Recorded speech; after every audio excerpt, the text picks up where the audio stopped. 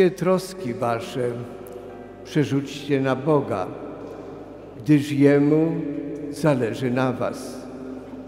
Pisał w swoim pierwszym liście do chrześcijan mieszkających w Bityni święty Piotr.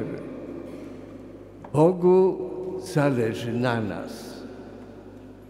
Tę prawdę o Bogu Ojcu wyraził Pan Jezus podczas swej nocnej rozmowy z Nikodemem, mówiąc: Tak Bóg umiłował świat, że syna swego jednorodzonego dał, aby każdy, kto w niego wierzy, nie zginął, ale miał życie wieczne.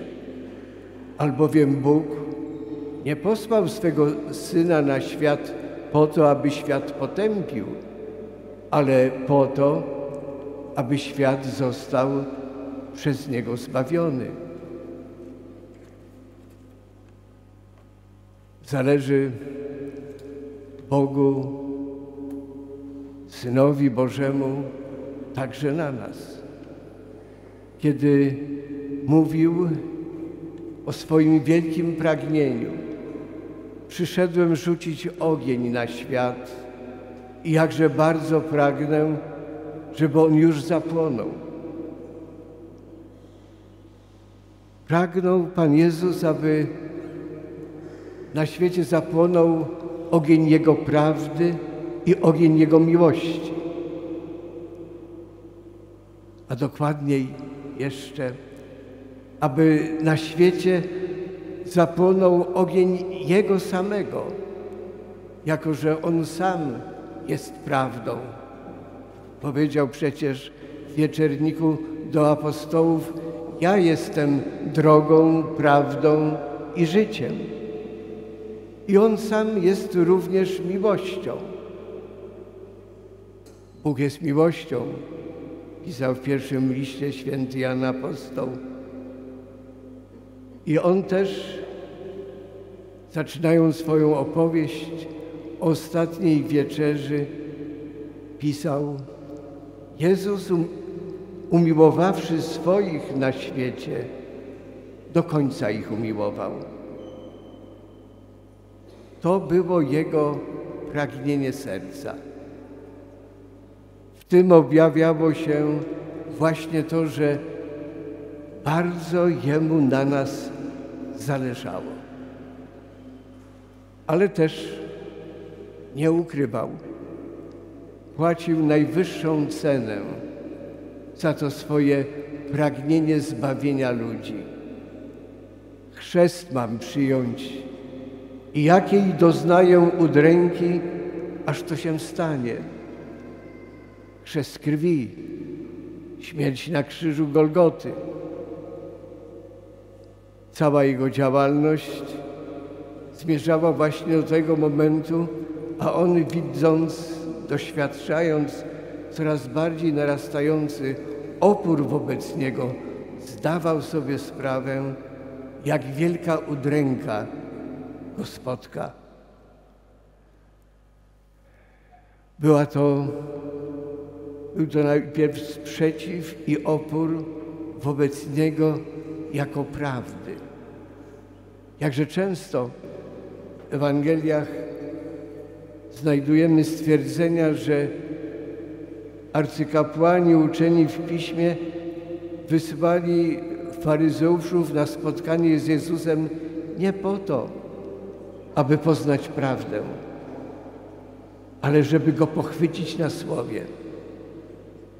Od samego początku była wobec niego wielka podejrzliwość i chęć znalezienia argumentu, by odrzucić głoszoną przez niego prawdę o Królestwie Bożym.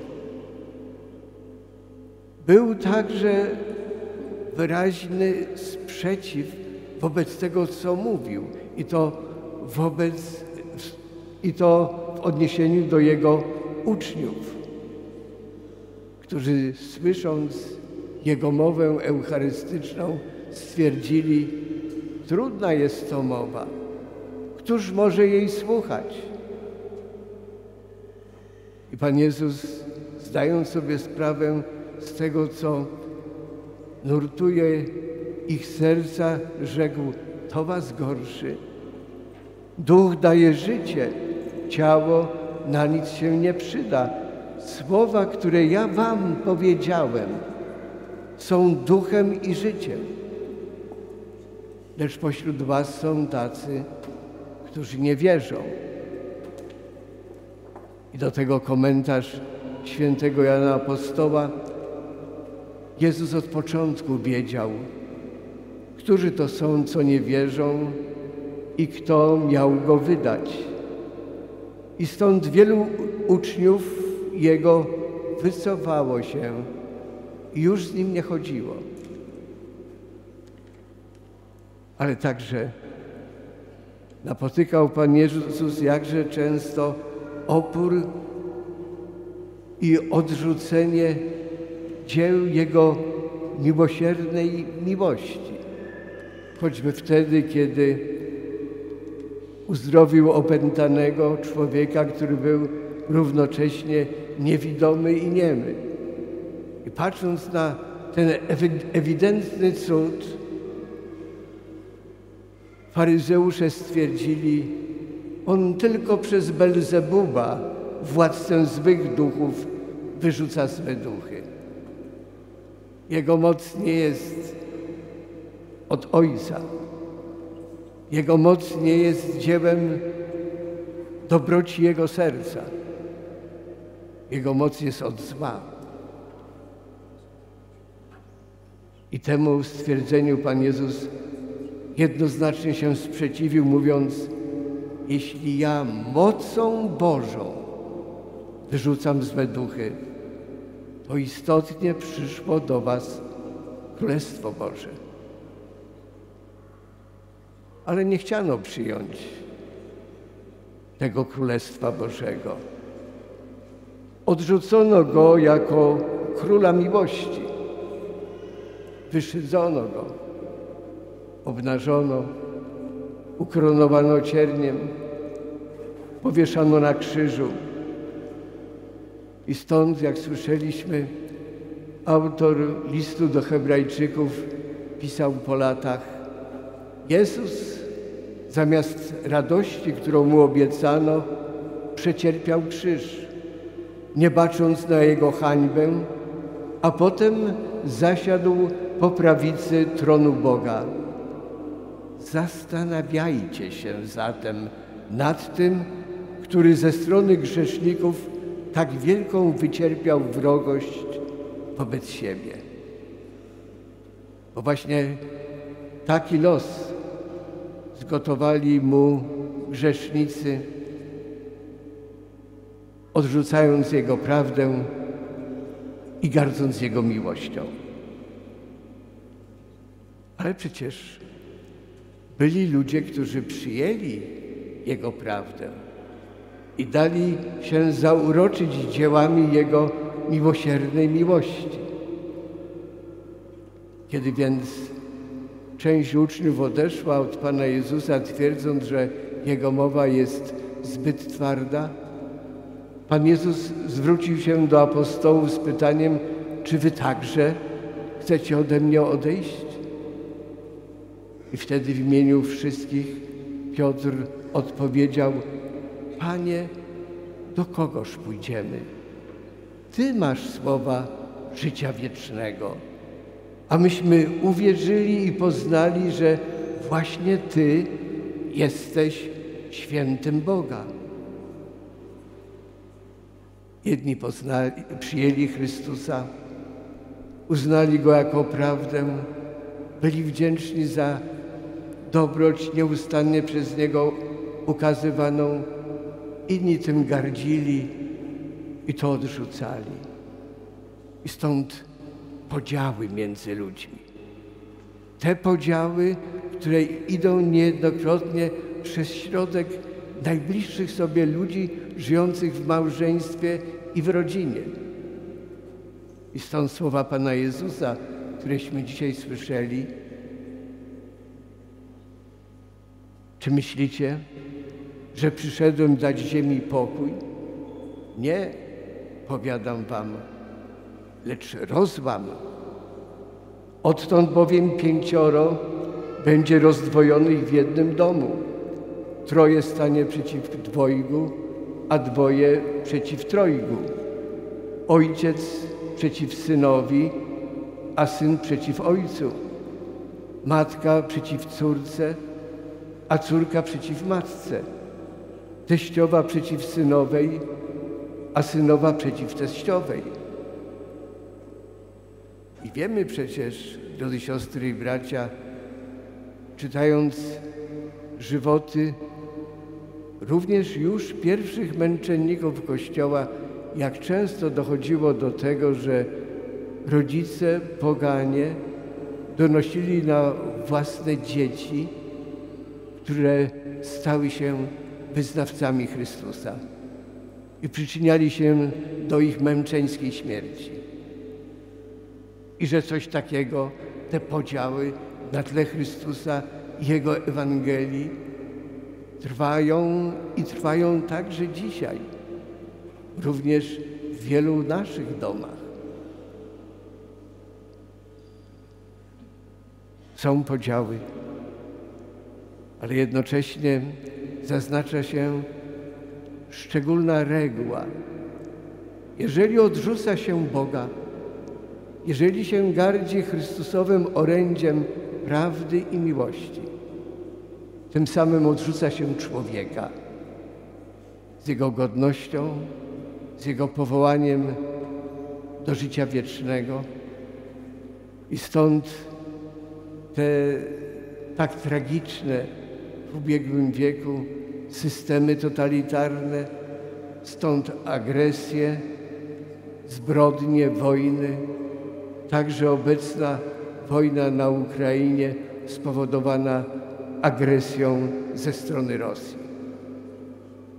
Odrzucają Boga, a tym samym doprowadzają do przerażających niekiedy zbrodni.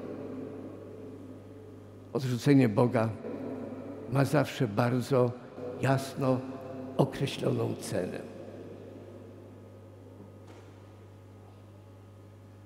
Tak to jest w naszej historii dramatycznej, niekiedy wręcz tragicznej. Ale przecież Pan Bóg w swojej opatrzności nas nigdy nie opuszcza. I symbolem tego jest sytuacja proroka Jeremiasza, o której słyszeliśmy w dzisiejszym pierwszym czytaniu. Został wrzucony do cysterny i zanurzył się w błocie.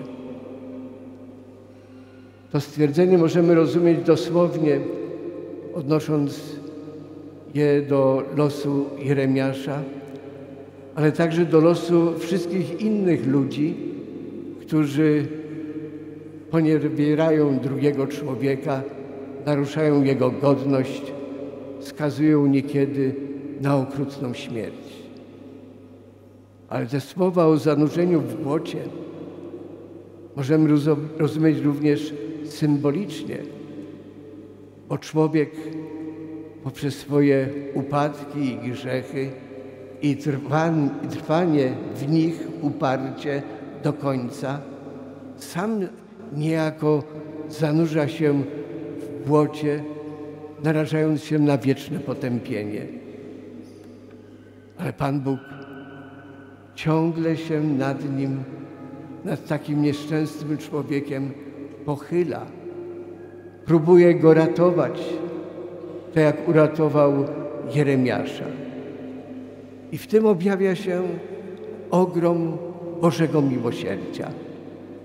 Ogrom Bożego miłosierdzia, które jakżeż piękny, przejmujący wyraz znajduje w modlitwie, której uczy nas sam Chrystus. On to bowiem najpierw w modlitwie Ojcze Nasz uczy nas zwracać się do naszego Ojca, prosząc o to, aby przyszło Królestwo Twoje, a wraz z Twoim Królestwem abyś Ty nam przebaczył nasze winy, jako i my przebaczamy tym, którzy przeciwko nam zawinili. I nie dopuść, abyśmy ulegli pokusie, ale zachowaj nas od złego. I w tej modlitwie pańskiej, bez trudu siostry i bracia, możemy znaleźć słowa, echo słów, które Pan Jezus skierował jako wezwanie do uczniów swoich, uczniów wszystkich czasów. Bądźcie miłosierni, jak Ojciec Wasz jest miłosierny. Przebaczajcie, a będzie Wam przebaczone.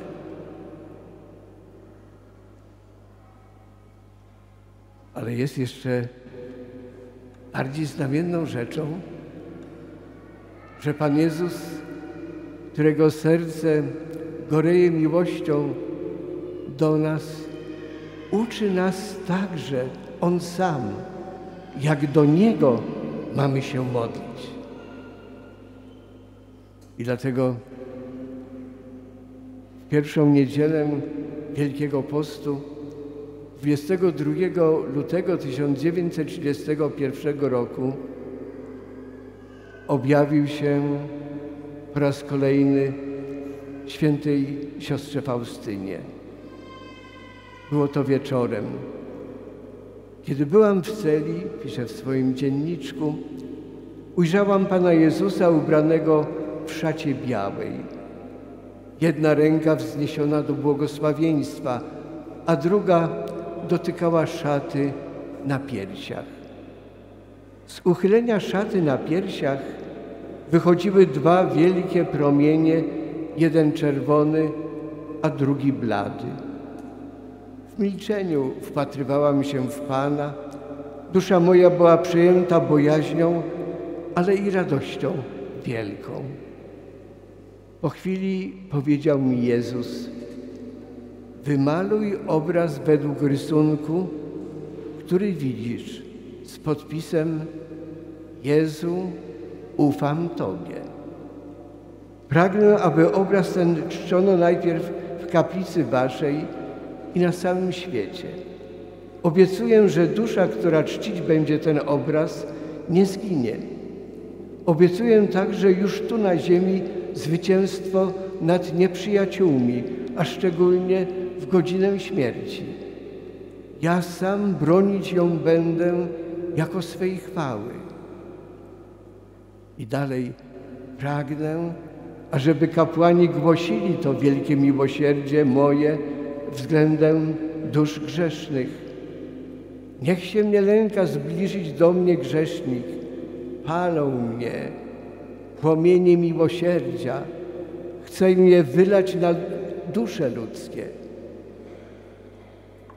Sam Pan Jezus uczy, jak mamy zwracać się do Niego, jak mamy wołać Jezu, ufam Tobie. I w świetle właśnie tego wyzwania, które, którego On nas nauczył poprzez świętą Faustynę, i w świetle Jego słów palą mnie płomienie miłosierdzia, chcę je wylać na ludzkie dusze, rozumiemy jeszcze bardziej Jego słowa z dzisiejszej Ewangelii. Przyszedłem rzucić ogień na świat. Jakże bardzo pragnę, żeby on już zapłonął. Drodzy siostry i bracia, to wezwanie Pana Jezusa z dzienniczka siostry Faustyny podjął święty Jan Paweł II Wielki. W kilku swoich bardzo ważnych homiliach nawiązywał właśnie do tego wezwania, które nam przez świętą Faustynę przekazał Pan Jezus. Wezwania Jezu, ufam Tobie. I stąd najpierw jego wielka homilia 30 kwietnia 2000 roku z Rzymu podczas Niedzieli Miłosierdzia i kanonizacji siostry Faustyny. Papież mówił wtedy, to krzepiące orędzie o Bożym miłosierdziu jest skierowane przede wszystkim do człowieka, który udręczony jakimś szczególnie bolesnym doświadczeniem albo przygnieciony ciężarem popełnionych grzechów, utracił wszelką nadzieję w życiu i skłonny jest ulec pokusie rozpaczy. Takiemu człowiekowi ukazuje się łagodne oblicze Chrystusa, a promienie wychodzące z Jego serca padają na Niego, oświecają Go i rozpalają, wskazują drogę i napełniają nadzieję, nadzieją.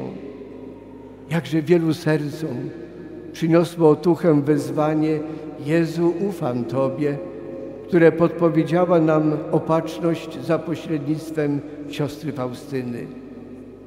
Ten prosty akt zawierzenia Jezusowi przebija najgęstsze chmury i sprawia, że promień światła przenika do życia każdego człowieka. Jezu, ufam Tobie. Ty zaś, Faustyno, darze Boga dla naszej epoki, darze polskiej ziemi dla całego Kościoła, wyjednaj nam, abyśmy mogli pojąć głębię Bożego miłosierdzia. Pomóż nam, abyśmy osobiście Go doświadczyli i świadczyli o Nim braciom. Wpatrując się razem z Tobą w oblicze zmartwychwstałego Chrystusa, powtarzamy Twoją modlitwę ufnego zawierzenia i mówimy z niezłomną nadzieją: Jezu, ufam Tobie. Podobny motyw wrócił 20 lat temu, 17 sierpnia 2002 roku, kiedy Jan Paweł II Wielki dokonywał konsekracji tej świątyni.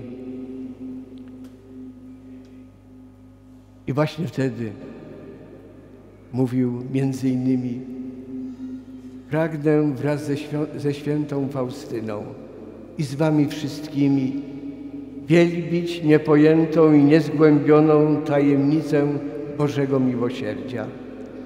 Podobnie jak ona chcemy wyznać, że nie ma dla człowieka innego źródła nadziei, jak miłosierdzie Boga.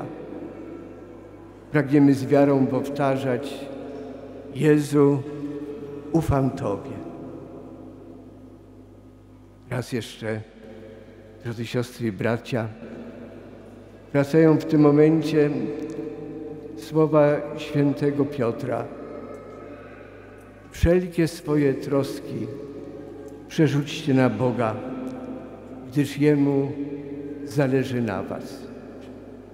I właśnie z tej postawy przerzucania naszych trosk na Boga, bo głęboko wierzymy, że Jemu, naszemu Ojcu, zależy na nas.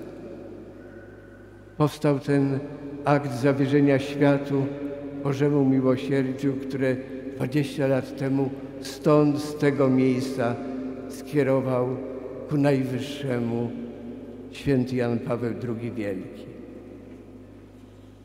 Kilka zwłaszcza stwierdzeń tego aktu, jakżeż głęboko wpisują się w to wezwanie o Bożym miłosierdziu, a jednocześnie w tę naszą ufność, którą w Bożym miłosierdziu pokładamy. Boże, Ojcze miłosierny, który objawiłeś swoją miłość w Twoim Synu Jezusie Chrystusie. Tobie zawierzamy dziś losy świata i każdego człowieka. Pochyl się nad nami grzesznymi. Ulecz naszą słabość. Przezwycięż wszelkie zło. Pozwól wszystkim mieszkańcom ziemi doświadczyć Twojego miłosierdzia. Ojcze Przedwieczny, dla bolesnej męki i zmartwychwstania Twojego Syna, miej miłosierdzie dla nas i całego świata. W to wołanie, które rozległo się tutaj 20 lat temu, w to wołanie, które rozbrzmiewa tutaj każdego dnia, włączą się, drodzy siostry i bracia, dzisiaj nowe dzwony nadziei, które zostaną uroczyście poświęcone za chwilę.